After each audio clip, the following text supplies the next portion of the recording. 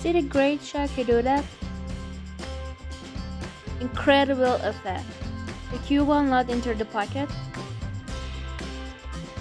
He can continue playing.